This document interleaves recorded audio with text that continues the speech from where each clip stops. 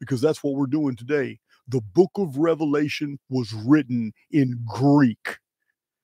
This is a very fundamental key fact that we cannot depart from because it's the Greeks that tell us how to decode it. And it's fascinating.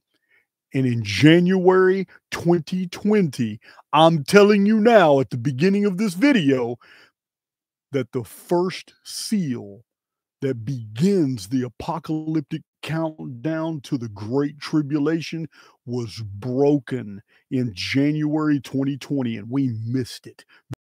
We programmed programmed to interpret things in different ways. We are programmed almost from birth not to see things that are right there in front of our face.